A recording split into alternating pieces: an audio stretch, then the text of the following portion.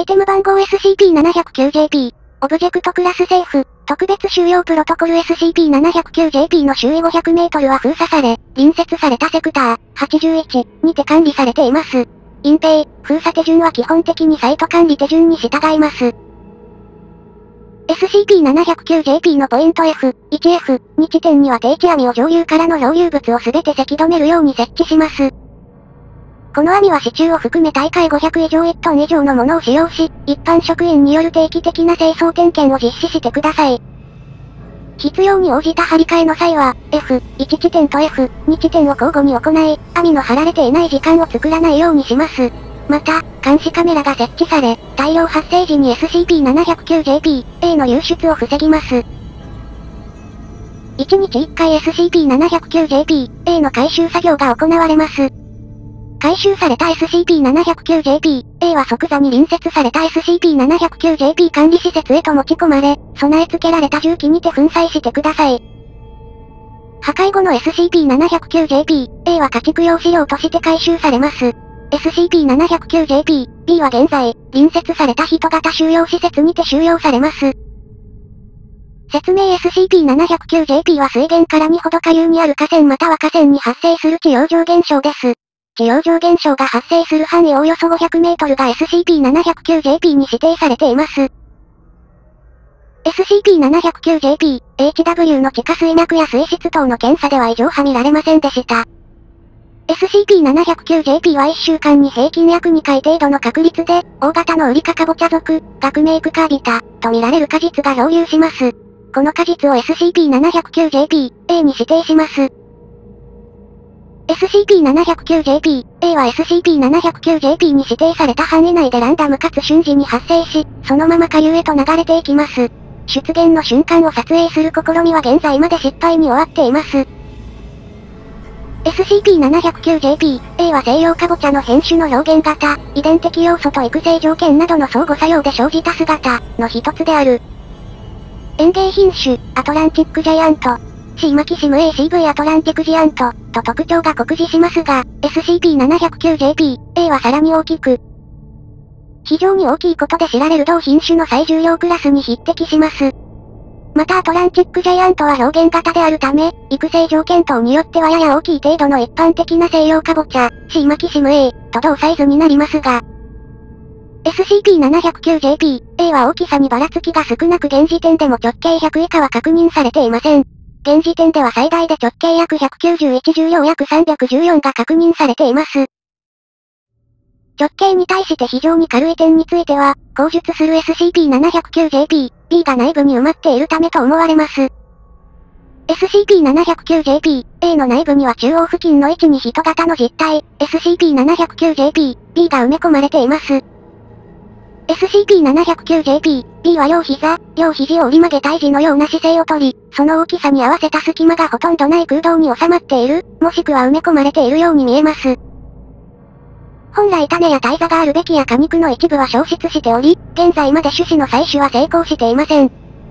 SCP-709JP、B は10代後半から60代後半のモンゴロイド男性の姿をとりますが、稀にコーカソイド人種や両者のハーフと見られる人種も発生します。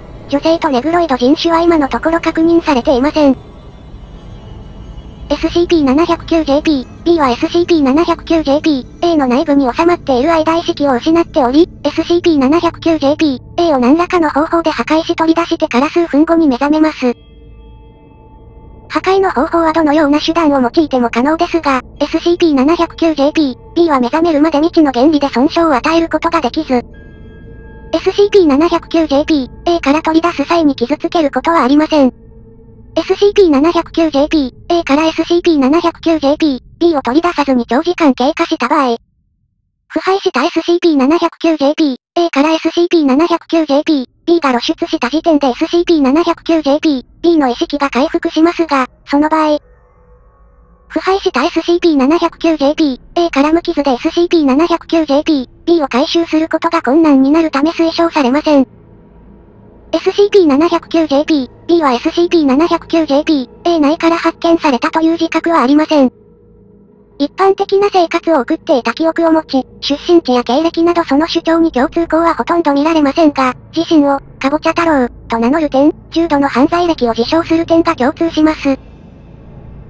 特殊な技能を必要とする経歴を主張する場合は、その技能を一定以上の連度で習得しています。SCP-709JP、B の特徴と一致する人物、出生記録、戸籍等の公的記録は見つかっておりません。また、SCP-709JP、B が目覚めるまでの非破壊性以外の特異性は様々な検査の結果、確認されておらず、記憶は全て架空のもの、もしくは異世界からの転移という見方が強まっております。現在 SCP-709JP、B を D クラスとして雇用する案が検討されています。対象 SCP-709JP、B、26。インタビュアー、博士。不非効率的な SCP-709JP、B 回収のため、重機を利用して粉砕しています。SCP-709JP、B、26は自身を配管工であると主張しています。録音開始。博士や SCP-709JP、B、26。気分はどうかな？SCP-709JP、B、26なんだその番号、俺はかぼちゃ太郎だ。ここはどこだ？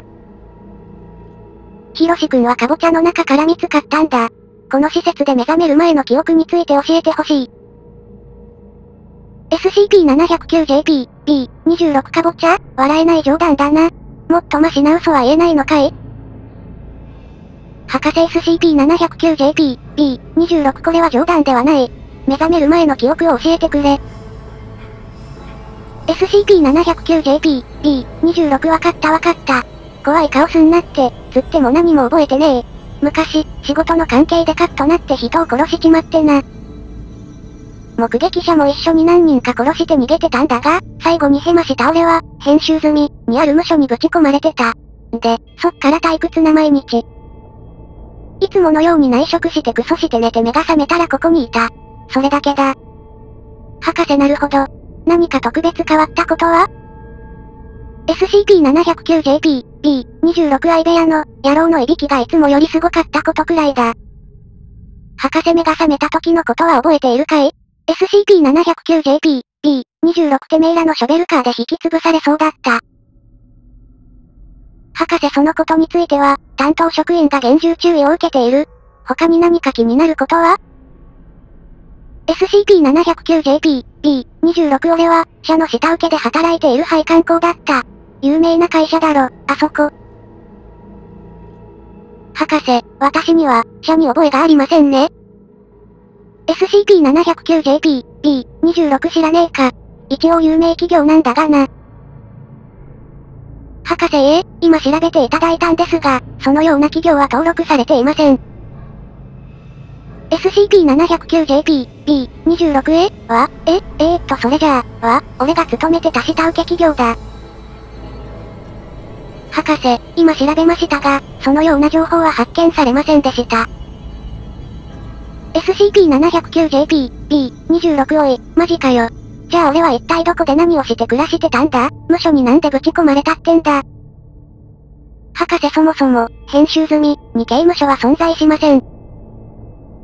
SCP-709JP、B、26はじゃあ、待てと、俺の、え、罵倒語、嘘だ。お前ら俺になんか仕掛けようって魂胆だな。罵倒語、俺は騙されねえぞ。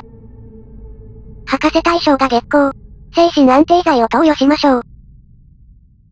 SCP-709JP、B、26ふざけんな。てめえらが俺に。博士インタビュー続行は難しそうですね。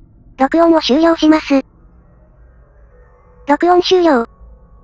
終了報告書 SCP-709JP、B、26の証言にはいくつかの矛盾点があるもののおよそ一貫しており、現在平行世界からの転移説や、架空の記憶が与えられた完全に神聖の人間である説などが予想されていますが詳細は不明です。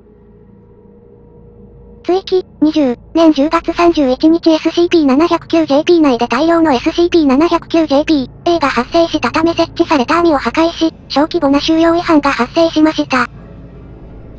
即座に財団エージェントによる回収作戦が行われ、流出した SCP-709JP、A は全て回収されたと思われています。以降、収容プロトコルの見直しが行われました。また、その際に回収に当たったエージェントから、カボチャではなく桃に見える SCP-709JP、A があった、との報告が上がっていますが、映像確認の結果、そのような事実はなかったと結論付けられています。